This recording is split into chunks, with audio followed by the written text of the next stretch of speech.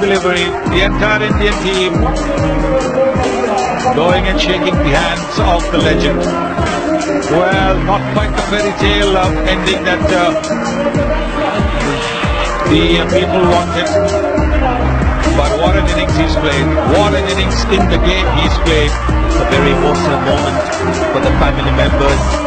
Maybe not so much for the player himself on the field, but there's been so much of sacrifice and commitment to that career from the close family members. Kumar Sangakkara walking out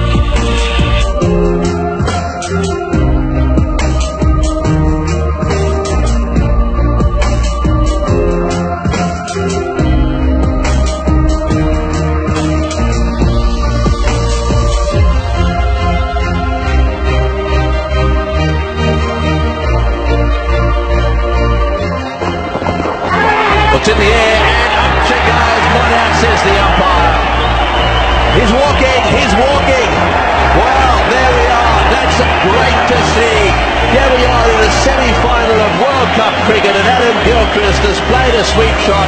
They've gone up. The umpire didn't look to, to, to me as if he was going to give him out and Adam Gilchrist has walked off the ground. That is great.